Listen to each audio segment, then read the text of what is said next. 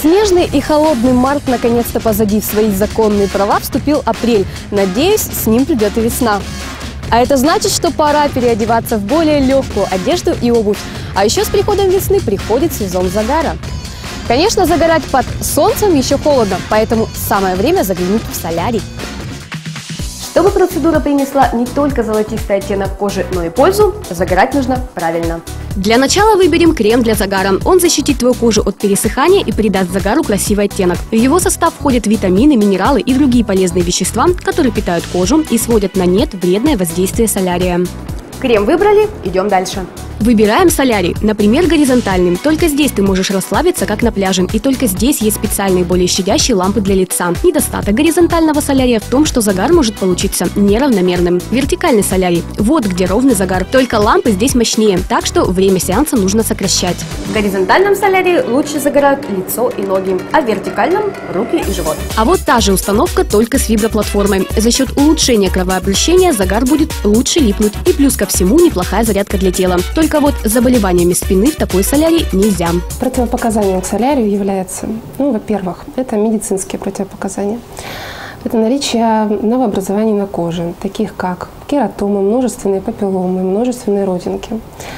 А также дерматологическое противопоказание – это наличие фотодерматоза, усиленная чувствительность к солнечному свету нежелательно применение солярия людям с повышенным артериальным давлением и страдающих сердечно-сосудистыми заболеваниями. Также э, противопоказан солярий э, беременным женщинам и кормящим матерям.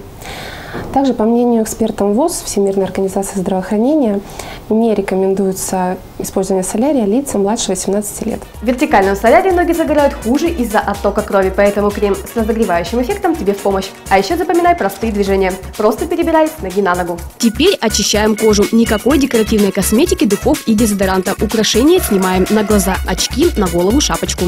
Хочешь получить ровный загар, загорай топлес. Только не забудь про защиту груди. Никаких ватных дисков, смоченных водой только стекинем. У них есть специальное покрытие, которое отталкивает УФ-лучи. И, кстати, самое главное – время загара. Минимальное время 3 минуты. С чего стоит начинать? Максимально 10-15 минут, все зависит от э, типа кожи. Светлокожим нужно поменьше времени, даже максимально. А те, кто более смуглые, с темным, темнокожие, тем можно побольше. Например, 15-20 минут это много. Но все, опять же, зависит от мощности самих ламп.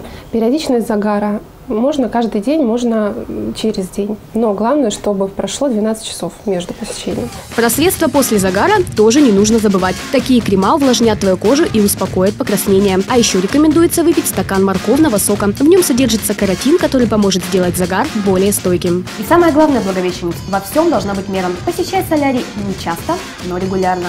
И ты никогда не потеряешь тонкую грань между красивым загаром и загаром а-ля курица гриль. Марина, дежурная по рубрике.